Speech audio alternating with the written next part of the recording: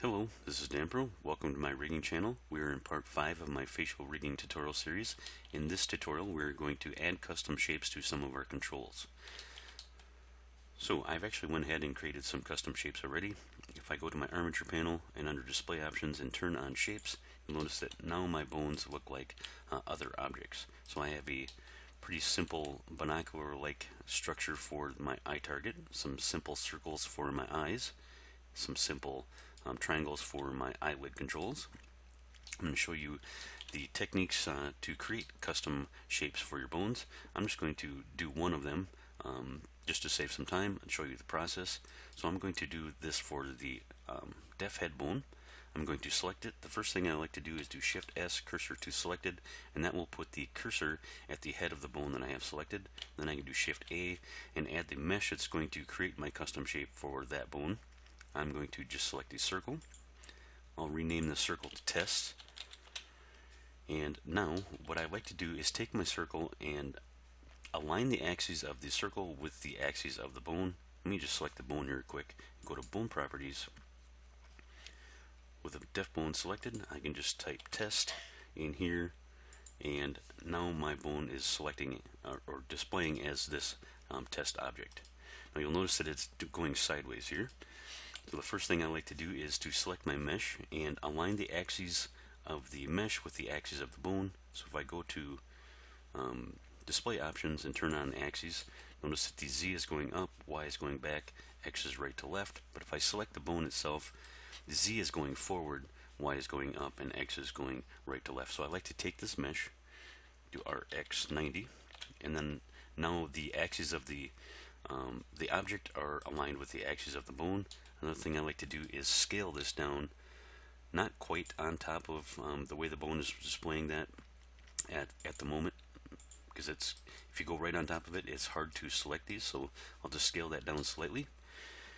And you'll notice that all the object transforms, in changing the location, changing the scale, and changing the rotation does not actually change the way the bone is displaying if you want to, after you've got everything aligned like this, the location, rotation, and scale of your mesh object, now if we tab into edit mode, if we do RX90 to spin these um, vertices flat and then GZ, drag this up, you'll see that we have real-time control. I can actually scale these down a little bit. We have real-time control over the way um, our bone is displaying that object. So this is one of the only situations in Blender, very one of the very few, where I will tell you not to apply the transforms of your um, mesh object. So this is our display. Um, we're not actually rigging um, our circle, our test object, um, to this. So do not apply transforms. If I did Control A, let me just show you what happens. Apply the location, rotation, and scale Notice that the uh, it screwed up um, what we just uh, set up there. Let me just back this up. Undo that. Alright, so again, one of the only times where you don't want to apply transforms for your um, objects, but aligning these, the location, rotation, and scale is going to be very helpful. You'll get re real-time feedback when you um, manipulate that object in edit mode, and you can set up your control shape there. And that's really basically it for um, creating control shapes. You can as I mentioned, create control shapes um, to look like anything you want. Let me get rid of this test object, x delete, and under bone properties, I can just uncheck the custom shape. Now we're back to normal.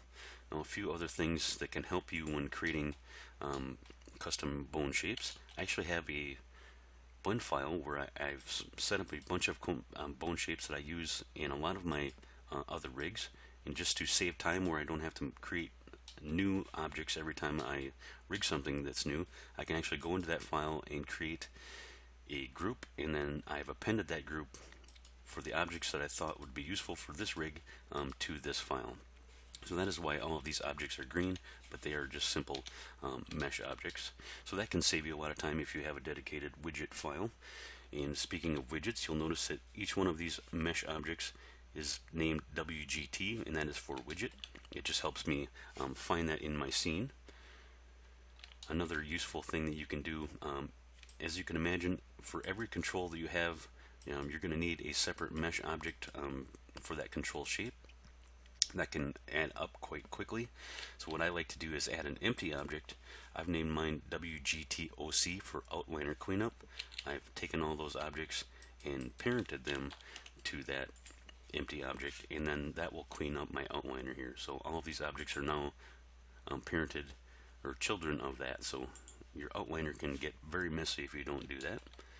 Let's go back to our armature. Now that we have some control shapes set up for most of our bones, I actually want to make a dedicated control for my deformations, uh, deformation bone for the head and the neck. So I have been manually or um, directly manipulating this deformation bone for that. I want to change that now and give it a um, dedicated control.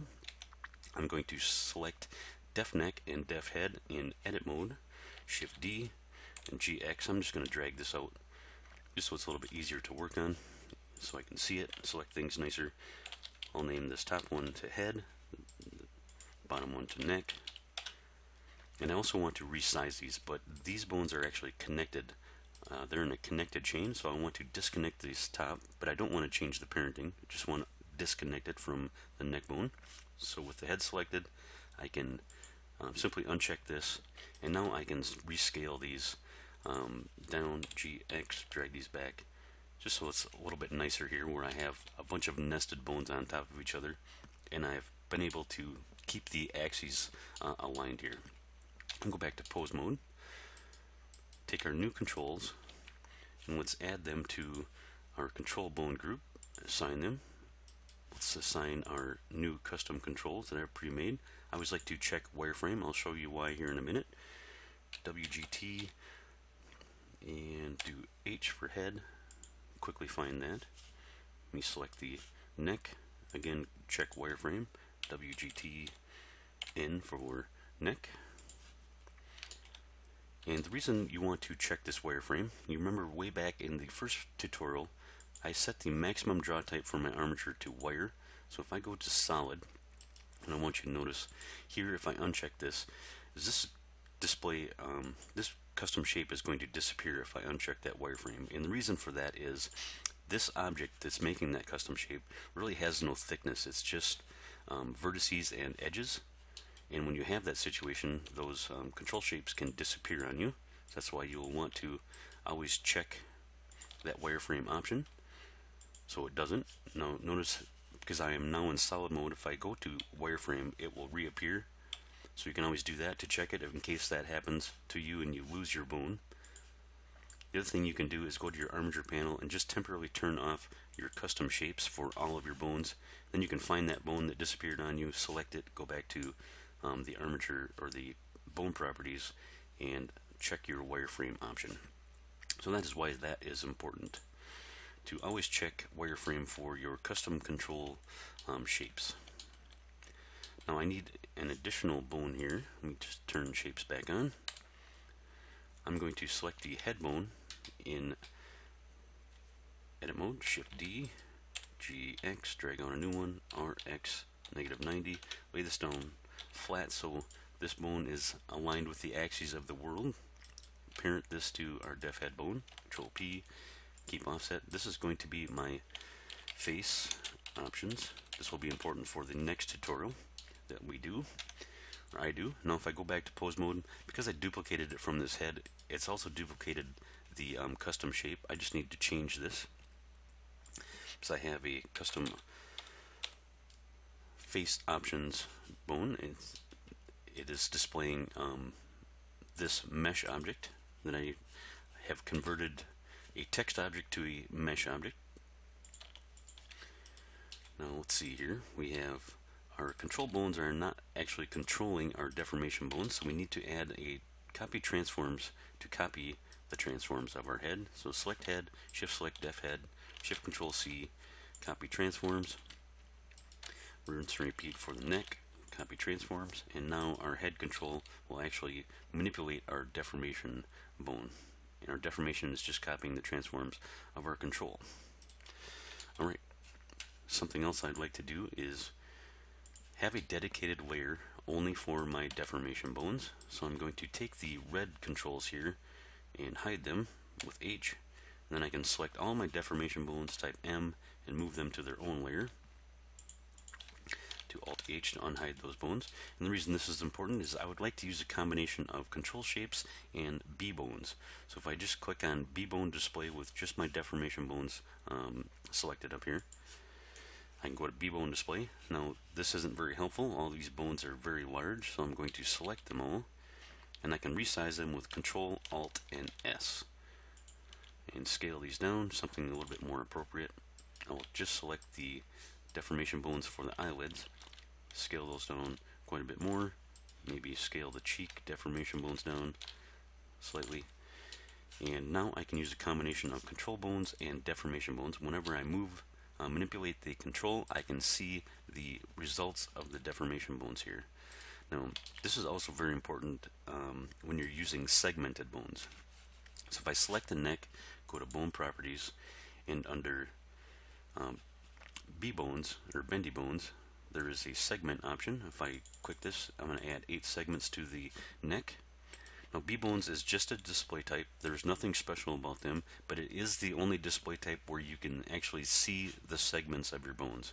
So um, segmented bones will work in any display type, but you just can't see the results unless you're in B-Bone display. So if, even if I go to octahedral, there's no difference in the deformation. It's just the difference uh, for us to actually see um, what's happening on those um, segments. So that is why I like to separate my, one of the reasons I like to separate my controls from my deformation bones. It might seem like a little bit of extra work, but that is very useful to do it this way. I think that's pretty much it for um, custom bone shapes and we are set for our next tutorial. I hope these tips have been helpful to you. Please like and subscribe. Until next time, good luck.